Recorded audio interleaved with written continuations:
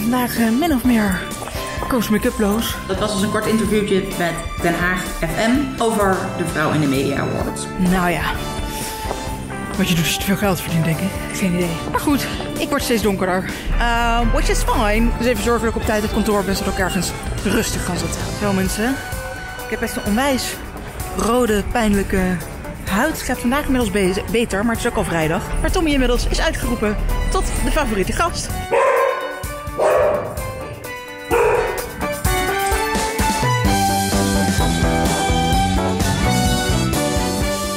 Ik heb in de advocatuur gezeten. Toen ben ik naar Amsterdam gegaan. En dat moet ik dan wel zeggen. Ik ben naar Amsterdam gegaan omdat mijn man partner in Rotterdam werd. Dus dat is natuurlijk, ja, die moet ik ook thuis goed regelen. Zo mensen, maandagavond. Ik kom net bij de Five vandaan. Dat is een opstartende vereniging voor vrouwen in intellectueel eigendomsrecht. Uh, nu een soort interviewgesprekje met uh, één iemand die um, advocaat is geweest en daarna bij de rechtbank heeft gewerkt en nu bij het Hof in IE. En de ander die al 30 jaar bij Parents Krans werkt en de enige vrouwelijke partner is. Dat is een beetje over hè, vrouwen in het veld en uh, over sprake van een glazen plafond en mannen en au pairs. En nou ja, wat je doet is te veel geld verdienen, denk ik. Geen idee. Um, maar goed, verder is eigenlijk niet gevlogd vandaag. Omdat ik vanochtend mijn live Q&A deed van de Law Talks van januari. Uh, die doen we dus elke maand, elke derde maandag van de maand. Verliep uitstekend, moet ik zeggen. Uh, net is de eerste maand, dus er waren gewoon nog niet super veel deelnemers. Ze waren in 40 minuten of zo klaar. Maar ja, als het goed is, is het goed hè. Dus daar klagen we dan niet over. Ik ging nog een puntjes op het i voor de masterclass in de media. PR media. Uh, dat verliep iets minder soepel. Maar goed, ik word steeds donkerder. Het is namelijk al eh, bijna 7 uur. Tijd om naar huis te gaan. Daar wel nog wat werk helaas. En morgen weer een dag. waar. Dus vriend heeft Tommy uitgelaten. Die heeft lekker gespeeld. En met een beetje geluk heeft hij zelfs voor me gekookt. En wacht er thuis zo een lekker maaltje op me. Of gaat hij dat voor me koken in elk geval. Daar ben ik dan wel weer heel blij mee. In die zin uh, hebben wij thuis absoluut geen problemen met uh, taakverdeling en uh, man-vrouwen dingen. Ik vind ook dat dat zo moet zijn. we moeten niet afhankelijk zijn van wat anderen voor vrouwen doen. Maar we moeten dat samen doen. En vrouwen moeten gewoon ook leren om meer voor zichzelf op te komen. Dingen voor zichzelf te regelen. Vind ik. Maar goed, um, we willen geen lang donker vlogje. Dus uh, tot morgen. Zo jongens, dinsdag. Ik ben vandaag uh, min of meer koos make-uploos. Komt op mijn huid er niet zo lekker aan toe. Is een beetje gevoelig, rood. Foundation wilde er gewoon niet lekker op. Dus ja, weet je. Je huid dan uh, rood is of uh, vlakkerige, brokkelige foundation. Maakt dan ook niet uit, dacht ik zo. Dus die heb ik er vanochtend weer afgehaald. En een beetje laten zitten met alleen wat mascara gedaan. Wenkbrauwjelletje door mijn wenkbrauwen en klaar. Verder vandaag lekker computerdagje gehad. Nieuwsbrief is weer verstuurd. En blog en video over COPPA zijn online gezet. COPPA is de uh, Children Online Privacy Protection Act, uh, Amerikaanse wetgeving. Uh, maar YouTube heeft een schikking getroffen met de Federal Trade Commission. Waardoor de regels dus eigenlijk ook, nou ja, hè, gewoon voor YouTube gelden. Even los van de wetgeving. Omdat YouTube gewoon geen boetes meer wil. En die verder wil voorkomen. Dus dat betekent dat video's met kinderen erin, of waar veel kinderen naar kijken, dat daar, uh, nou je mag gewoon vooral geen gegevens verzamelen van kinderen. Dus als kinderen er veel naar kijken, nou, zijn er allerlei dingen uitgezet Zoals comments, kaarten, eindschermen, etc. Nou goed, daar heb ik een video en een uh, blog over geschreven. Dat is allemaal online gezet. Een overeenkomst geschreven. Uh, ik zou misschien nog naar het nieuws vanavond.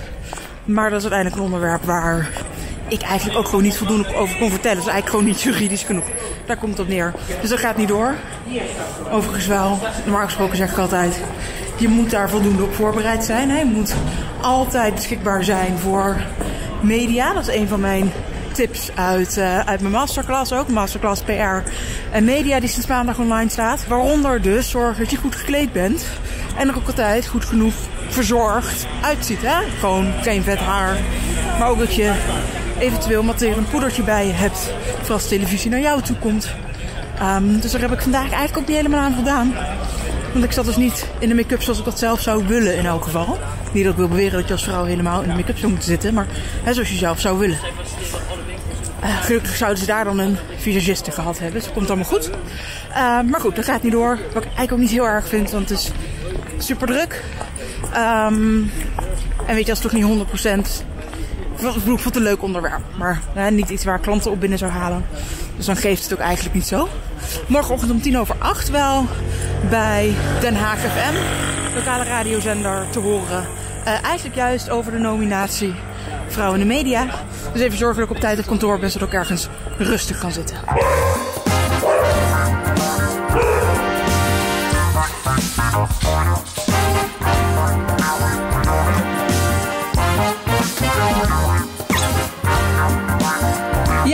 Zeker de laatste twee jaar heb ik daar uh, niet over te klagen, inderdaad.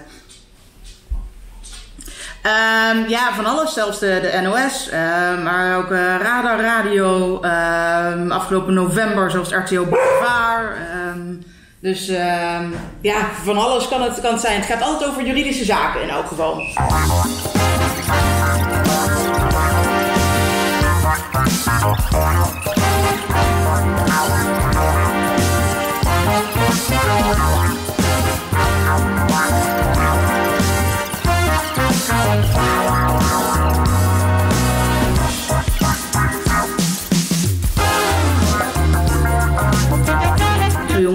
Dat was dus een kort interviewtje met Den Haag FM uh, over de Vrouw in de Media Awards. Tja, moet je ervan zeggen? Um, ander soort interviewtje dan normaal. Ik ben natuurlijk gewend iets meer iets inhoudelijks te mogen zeggen. Maar het was wel leuk. En ze hebben me genoemd, de awards genoemd, waar er gestemd kan worden. Alhoewel ze zeiden, je kunt stemmen op vrouwenindemediaawards.nl. En het is vrouwendemedia.nl. Beetje jammer, ik weet niet of het dan veel stemmen op gaat leveren. Um, maar in elk geval leuk dat er aandacht voor was. Dus, um, nou, top toch? Eerste interviewtje hierover. Derde media-uiting of zo van uh, deze week. En van dit jaar moet ik zeggen. Eerder dit jaar heb ik nog niks gehad. Um, nou, laat denk ik weer wel zien dat ook wat ik, wat ik doe om in de media te komen werkt. Dus wat, alles wat ik zeg in mijn masterclass ook werkt. Daar vertel ik alleen maar hoe ik het aanpak. En niet hoe dat volgens de boekjes moet. Want ja, dat zou je ook best zo kunnen doen op zich, volgens de boekjes. En dan werkt het vast ook heel erg. Maar dit is wat nou juist makkelijk is als ondernemer. Goed, ga ik nu maar gewoon meteen weer lekker echt aan het werk.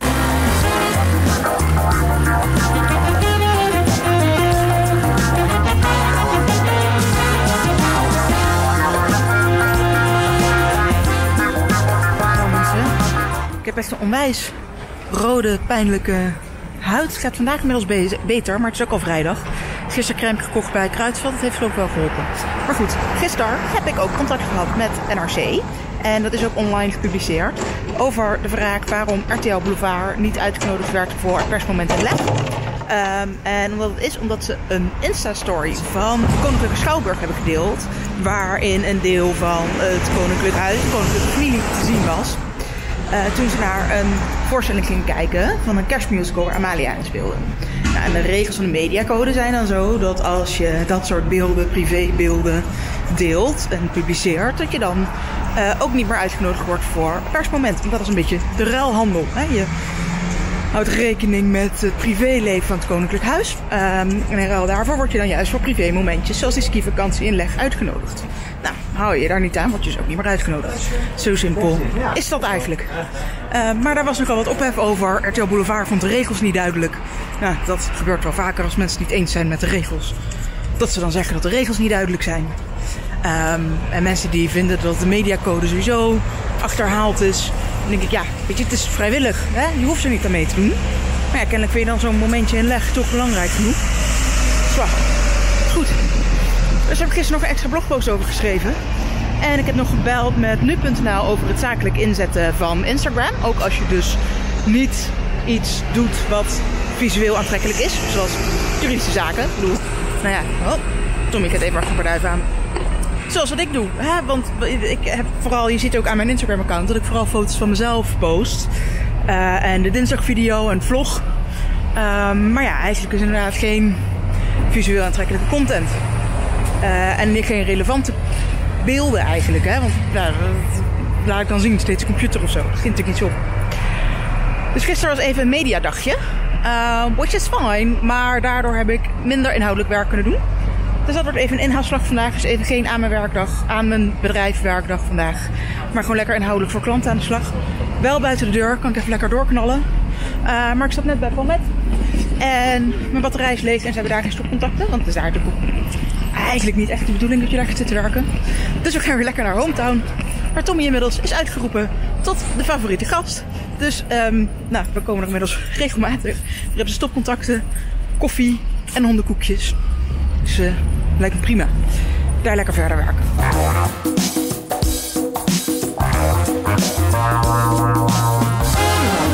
Het is, zoals je zult begrijpen, maandag.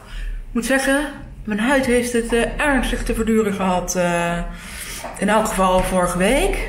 Afgelopen week, meer dan een week. Begin nu eindelijk een beetje bij te trekken. Um, het schijnt te kunnen komen van extreme stress. Dus, uh, nou ja. Weten we dat ook weer, zullen we maar zeggen. Dus, nou ja, tof was het niet. Het liefst wat je smerker dan juist wat make-up overheen. Maar ja, dat ziet er alleen maar nog slechter uit. Als het allemaal gek en droog is en schilfrug en weet ik veel wat, dan benadruk je het alleen maar. Dus uh, ja, dan zit hier maar met alle rode plekken en dingen. Misschien dat het uh, morgen of zo weer, uh, weer beter gaat. Goed, gisteren lot ook februari afgemaakt. Dus um, dat kan allemaal vandaag grotendeels online. Um, maar ik stuur het wel nog naar uitgetypt om het te kunnen ondertitelen. En dan ga ik op basis daarvan weer een, een e-book maken. Dus nou goed, daar staat weer van alles op de planning voor komende week. maar dat laat ik jullie wel in de volgende vlog zien. Nou, dank jullie wel voor het kijken weer. Uh, klik vooral even nog op de abonneren knop om geen vlogs meer te missen. En ook zodat je alle dinsdag video's kunt zien. En dan hoop ik je in elk geval volgende week vrijdag weer te zien. Bye bye.